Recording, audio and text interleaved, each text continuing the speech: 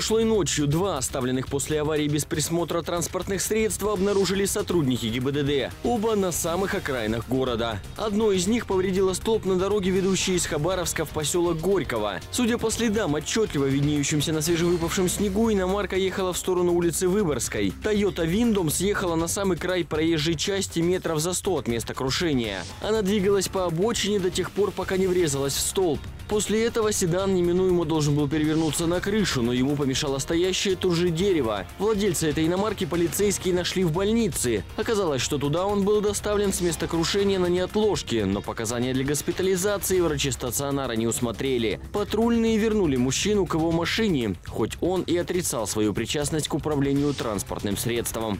Да не я был за рулем. не А кто? А кто? Угнали, что ли, машину? Нет, почему я сзади спал? Да что, а кто за рулем был? Вот хотел бы узнать у вас.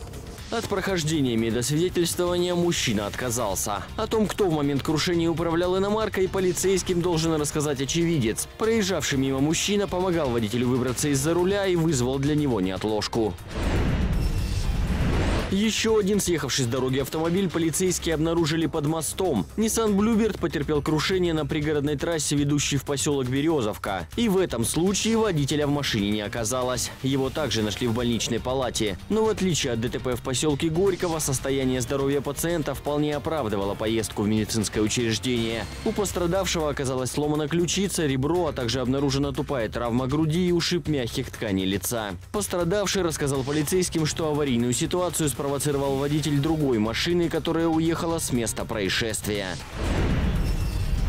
На перекрестке улиц Станционной и Серышева столкнулись две иномарки. Водитель Тойоты Короны рассказал, что пересекал Серышева по прямой в направлении железнодорожного вокзала. По его версии, водитель Митсубиши ехал ему навстречу и посреди перекрестка попытался совершить левый поворот.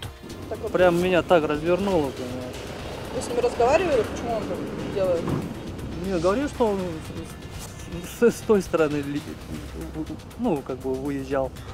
А мы же видели, что он оттуда. Он говорит, со что он по Серышеву, сделал. в смысле, Да, да.